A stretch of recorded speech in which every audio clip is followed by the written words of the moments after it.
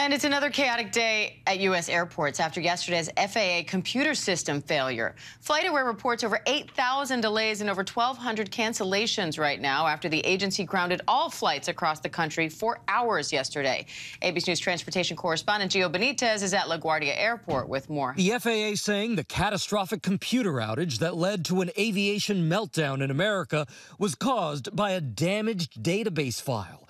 A senior official telling ABC News that file appears to have been a single engineer's mistake.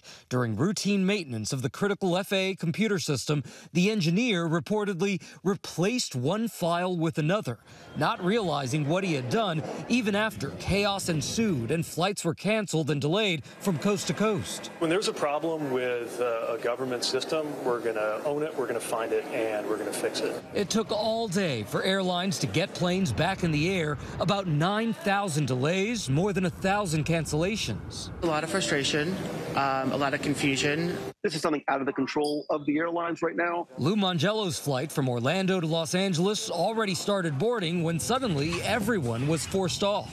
Everybody deplaned very quickly very orderly. The Notice to Air Missions Computer System, or NOTAM, delivers critical safety information to pilots before taking off. To fix the issue, the FAA ordering the nation's first national ground stop since 9 11. We just can't fly without that system.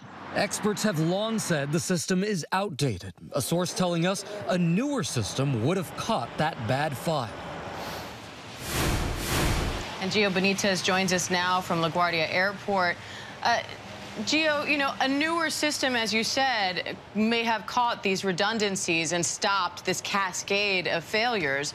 Uh, hearings are expected as a possible, uh, you know, talks about a possible speed up of system replacement. So put that all together uh, for us. What is the status of this new system? Is this just a hypothetical or is this in the works? So, Diane, here's the short answer. We know, at least we're told, that there is a new system in the works. Now, here's the problem.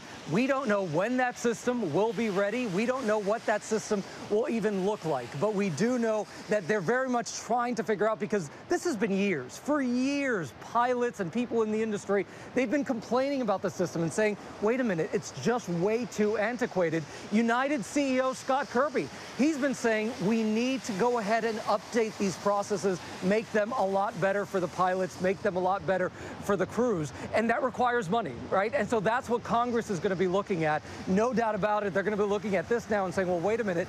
Now does the FAA need even more money to make something like this happen and make something like this happen a lot faster? And that's going to be the key question.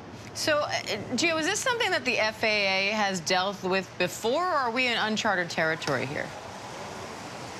This is unprecedented. We have never seen anything quite like this happen. And when you think about a national ground stop, for example, the last time there was a national ground stop like this was 9-11. But that one was intentional, right? We intentionally closed the airspace because we had that. This one's also intentional, but it was intentional as a reaction to this mistake that apparently happened with this engineer who had misplaced that file or put a, a damaged file in the system and didn't realize it for all that time. Uh, so no doubt doubt about it, they want to look at automation. They want to see how can we prevent this from happening? How can we prevent human error from causing something like this again? But yeah, this has never happened quite like this. And uh, they are really struggling today because they want to make sure that this doesn't happen again, right? Because the systems are still overloaded. Uh, we are now looking at a lot of delays today. That's the good news. But they saw what happened yesterday and how long it took to recover yesterday.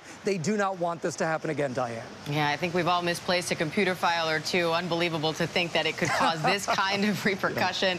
Thank God that doesn't happen in our business. Gio Benitez, uh, appreciate you as always. Thank you, friend.